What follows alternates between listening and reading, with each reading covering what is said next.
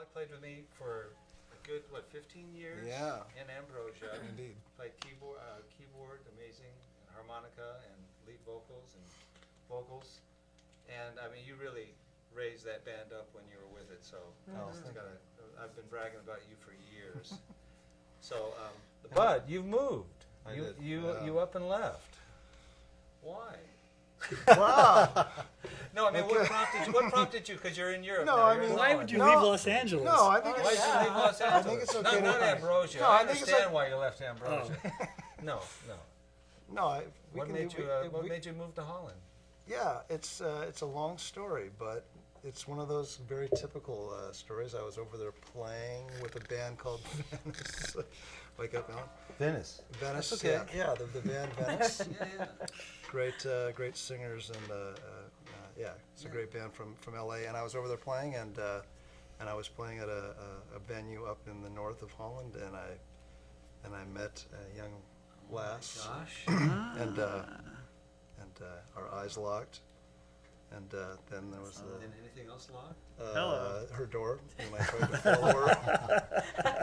Or chastity belt. no, I, no. So you met somebody and that prompted you, but you must have had other motivations. Yeah, no, I mean, it, it, it was definitely the culmination of, of years of, of a dream. I always had a dream to live in Europe.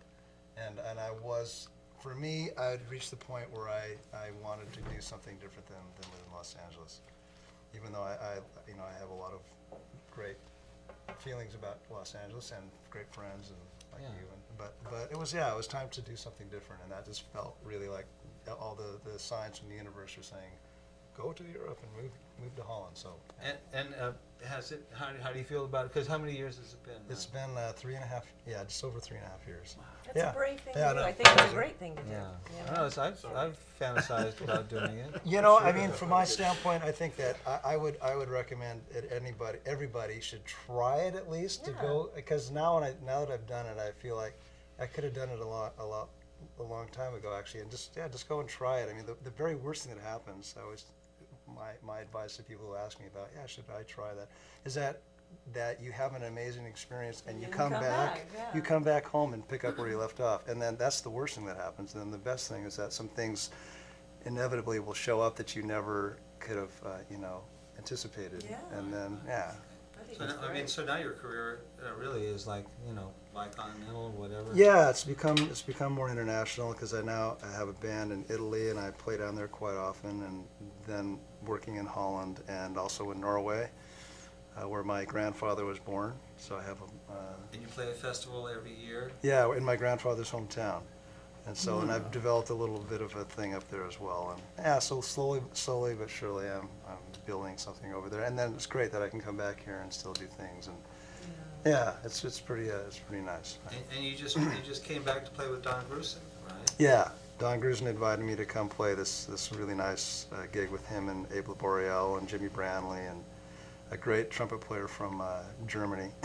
so uh, yeah, I came back to do that as well to work as work on my new CD, Right. Which I'm coming close to finishing.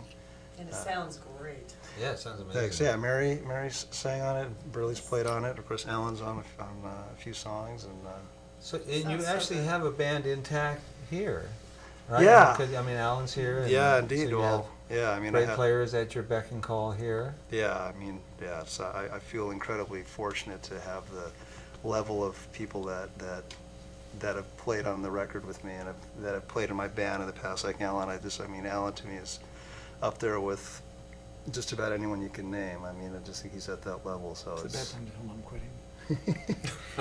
Did, did you say Alan? He said it's just a bad time to tell him I'm quitting. I want Alan. He's saying some good stuff I got my over there. Yeah, where's? Uh, no, Okay. Is, is Alan in the guitar god status? He is. He is. In my mind. Yes. yes.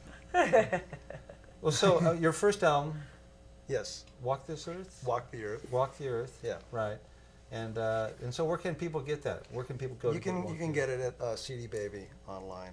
All right. And, CD, that, cdbaby.com. Right. Yeah. and so the new one is going to be called? Across the Rubicon. All right. Yeah. Okay. What does that mean? It's uh, are you are you being silly? yes, I am. I'm sorry. you, you know you know what you know what the crossing the Rubicon. Rubik, uh, the cube thing. It's it's a Rubik's Cube uh, reference because I, my audience, I think, are people that are very challenged about. No, I'm things sorry. like- I'm sorry. Continue. No, it's it's a it's a reference to uh, a historical reference to uh, when Caesar, Julius Caesar, uh, crossed the Rubicon. Uh, at that time, uh, it, he- wasn't emperor yet, and the emperor had the rule was that you couldn't cross the Rubicon back into the emperor into the uh, empire without the permission of the emperor. And Julius Caesar said, "Well, I'm Julius Caesar, so I'm crossing the Rubicon," and he did. And he said that's when he said the die is cast, which is where that saying came from. So I always I, that just that phrase came to my mind across the Rubicon, which is part to do with my moving to Europe, and that I feel like I yeah did it. I, I crossed this very huge Rubicon, the Atlantic Ocean, and. Uh, and yeah, there was like, there's no, that was his, his line was that there's no turning back, that once you do it, and then, so, anyway. Cool. That's yeah. great. See, Rubicon to me means the, it was the name of the publishing company that our first manager had when he ripped Ambrosia off for all the money. All right, I- So that's, I, we're, we're coming really close to going into a therapy session on this. but now you're from Seattle ori- originally? I was, right? yeah, I grew up in Seattle, I was born in Alaska, but I grew up in Seattle. So, harmonica, keyboards, vocals, where did, where did it start? I mean, how did it start? guitar. Yeah, I play guitar. Does he? I didn't know you Guitar. play guitar, Tollak? Been hiding Yeah, from well, not around Ellen, I. Actually, you played in Ambrosia for a second. You played a couple tunes. Yeah, yeah, several songs. Oh, I but- never didn't see it. I started with the harmonica because my brother was a was a really fine blues guitarist, and he played some harmonica, and, and they just happened to be around the house. Luckily for me, and I just started playing blues harmonica. And a little late, little bit later, I got into the chromatic harmonica.